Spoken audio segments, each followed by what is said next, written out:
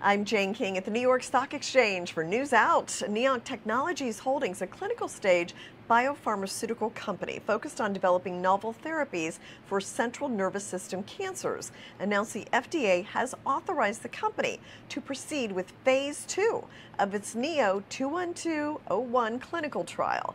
The FDA's decision follows the successful completion of the phase one study, which demonstrated that NEO 212 could be safely administered at dosages up to 810 milligrams daily on days 1 to 5 of a 28 day cycle. Independent review of the recommended phase 2 dose is ongoing, with patient enrollment expected to begin before the end of 2025.